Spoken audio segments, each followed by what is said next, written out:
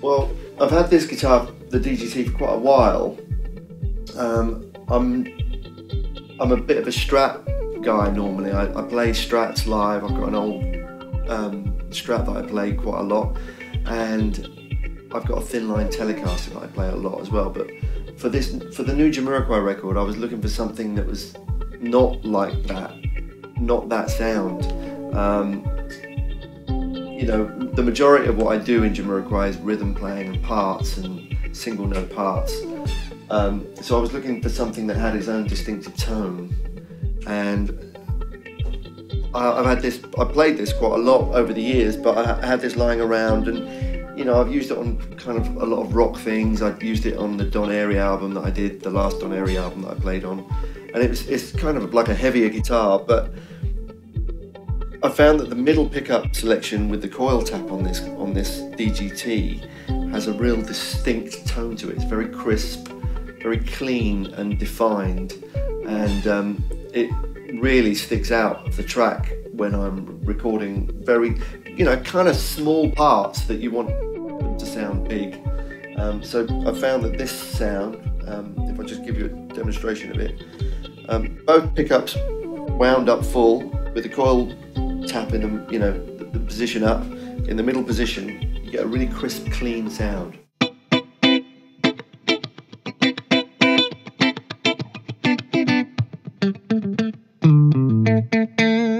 Nice. The, the bite is really good on it. And I, I really like the way that in a dense track it cuts through really well. So um, the new, yeah, I, I mean the new Jamiroquai record is pretty much 90% of it is done on this guitar.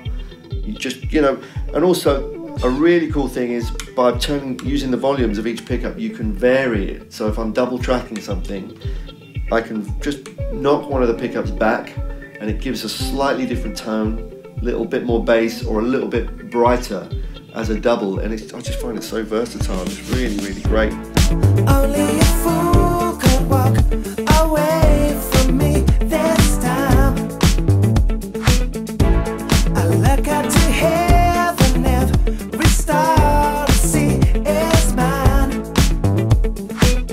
One of the parts that I played on the new Jamiroquai record is um, is, a, a single note picking part, which I've doubled, um, which is something I do a lot. I double up, I play the octave of it, um, but it's just a really simple thing. But because of how tight this guitar can be, um, that same setting that I've, I've, showed you there, it just really sits really well in the track. So the, the chorus part goes. Uh,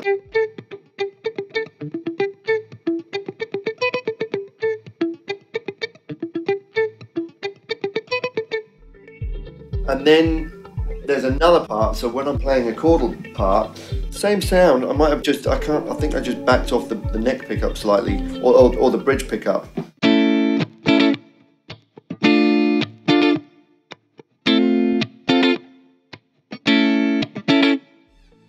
Really crisp, strong sound. It's not like a Strat, which is a bit more clucky.